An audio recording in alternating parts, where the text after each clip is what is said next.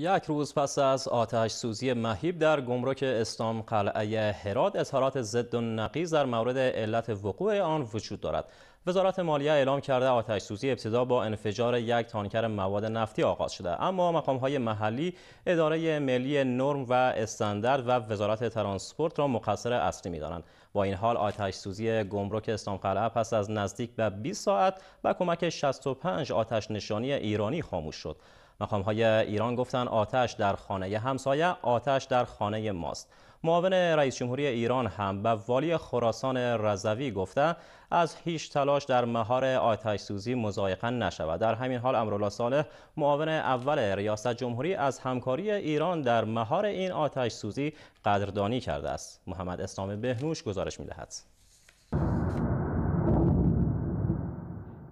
گمرک اسلام قلعه در کام آتش رو دود.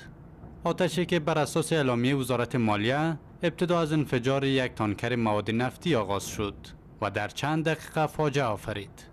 اما دیدگاه های مقامات محلی متفاوت است. ما می‌فهمیم که عامل انسانی سبب این رویداد شده اما این به گفته برخی مسئولان محلی وزارت ترانسپورت و اداره ملی استاندارد مقصری اصلی این رویدادند.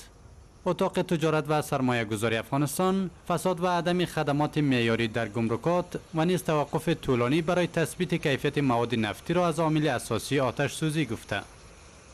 ما سخت متاثر هستیم وزارت ترانسپورت که دو هفته موترها را به خاطر طرز عمل جدید خود در گمرک اسلام قلعه نگاه داشت. اداره استاندارد و تی سی سخت مقصر هستند که در زمان نمونهگیری این فاجعه رخ داده. آتش سوزی مراحل نهایی خود سپری می‌کنه در حال مهار شدن هست. خب مواد سوختی وقتی که شعله‌ور میشه مواد مخصوص می‌خواه که حریق مهار بشه. آتش سوزی که در 20 سال گذشته بی سابقه بوده. 20 تیم به شمول 65 آتش نشانی ایرانی برای مهار آن شتافتند. بعد درخواست والی هرات.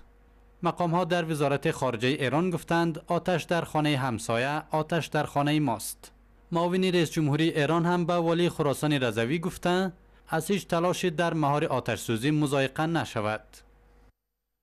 خب احتمال داره که زمانگیر بشه و تمام نیروهای اطفایی ما و همچنین اطفایی کشور همسایه ما جمهوری اسلامی ایران فعلا با ما همکاری می‌کنند ما متاسفانه و امکانات آنچنانی نداریم. در یک شهر 4 میلیونی دو سه چهار پنج اراده اطفایی چی کار می‌تونه بکنه؟ وسایتی که در در اطفایی شهرک صنعتی از کاملا کنه و فرسوده است. حدود 500 تانکر مواد نفتی و اموال تجاری در این آتش سوزی دود شده و به هوا رفت. چیزی به ارزش 40 تا 50 میلیون دلار. آنهایی هم که باقی مانده از سوی مردم غارت شده. از بقایای این آتش سوزی تا اموال تجاری. مال ما که فعلا چور میشه در خانه های مردم است. به پیش روی چشمای ما میره مردم اونا را چور می‌کنه. همین دولت به کفایت همین اداره. این هم تصاویر پس از آتش سوزی که بیانگر عمق فاجعه است. با این حال امرالله صالح اما در یک واکنش جالب به آن گفته سر باشد کلا پیدا خواهد شد. و همچنان افزودن نبودی زیربناهای معیاری یکی از چالش های جدی در گمرکات افغانستان است. امرالله صالح میای میگه سر باش کلا بسیار مردک. تو درد این مردم رو می‌فهمی؟ و متاسفانه که تاجر کشور در این قضیه خیلی متضرر شده و این قضیه و این ضرر آیستا آیستا در بازار تاثیر می‌گذاره و مردم افغانستان همون احساس می‌کنند در وزیرای سکتوری ما چندین مرتبه گفتیم که اینمی جای گاز و نفت باید جدا باشه برای از اینکه خدا نخواست یک وقتی که همچه حادثات رخ میده باعث ضرر مردم میشه. به گفته یک منبع 80 تا 100 راننده در این آتش سوزی جان باخته. اما مقام های محلی می‌گویند تنها 17 نفر در این آتش سوزی مسموم شدند با این همه یک هیئت برای بررسی علت این فاجعه و تثبیت خسارات آن گماشته شده. برای بررسی بیشتر این خبر به خصوص پیامدهای اقتصادی این آتش سوزی گفتگویی داشتم با استاد مسعود استاد دانشگاه و ابتدا از او پرسیدم که آتش سوزی دیشب در گمرک مرزی اسلام قلعه در هرات چه پیامدهای اقتصادی روی وضعیت کشور به ویژه هرات دارد؟ خدمت شما عرض شود که نمیتون که اقتصاد در هرات در بازی سیاست افغانستان تلقی می شود دوازه قدرت. بله. ایراد یکی از منبع های کلان قدرت اقتصادی افغانستان است بله. از این لحاظ فکر می‌کنم که به خصوص وارداتی که از ایران صورت می‌گیره نه تنها از ایران است بلکه از کشورهای دیگه هم است که از طریق ایران وارد افغانستان میشه و در حقیقت یک نوع گرچه ثبات کاملا به وجود آورده نمی‌تونه بر ثبات اقتصادی افغانستان زیاد کمک می‌کنه بله من فکر می‌کنم که این 500 تانکر سوخته که با آتش کشیده شد و در پهلوی از این لاری های دیگه مامبال تجارتی که هم مورد تاراج قرار گرفت. این دو پیامد کلان داره سه پیامد کلان داره. بله. پیامد اولیش است که یک تعداد از تجارای ما ضربه دیدن و 50 میلیون دلار گرچه 50 میلیون دلار از لحاظ اقتصاد کل و پول کلان نیست می‌تونه دولت رو جبران کنه. در حقیقت اینا متضرر شدن بله. دومی که در حقیقت یک نوع امید امیدواری و باورمندی ها را ضربه زد برای تجارها و کی بسیار عمده است و سیومی که برای دولت نشان داد که دولت هم تا اندازه برای مسئولیت سرمایه تجار و برای مسئولیت واردات ما اندازه کار کم انجام دادن. همکنون برق وارداتی ایران به هرات هم قطع شده و گمرک اسلام قلعه دوغارون هم تعطیل شده. دولت در چنین شرایط کنونی باید چه کاری انجام بده به نظر شما؟ خب من فکر می‌کنم که این یک حادثه خورد نیست که دیگه ما او را زمایم خود نداشته باشه. این حادثه حادثه بزرگ است که زمایم کلان دیگه داره قیمت های نفت و گاز در در هرات و در منطقه غرب افغانستان فوق العاده بلند خواهد برد. مسئله برق اون صدمه زده مسئله واردات صدمه می‌زنه. شما در بازار در حقیقت کاهش کالاها را می‌بینین و نوع ناباوری های تجار زیاد میشه. من فکر بله. می‌کنم که ما یکی از کلانترین و مشکلترین حرفی را که فعلا در تجارت افغانستان داریم عدم باور تجارها برای مسئولیت خودشان است. چی مسئولیت خودشان چی مسئولیت خانوادهشان و چی مسئولیت سرمایهشان است.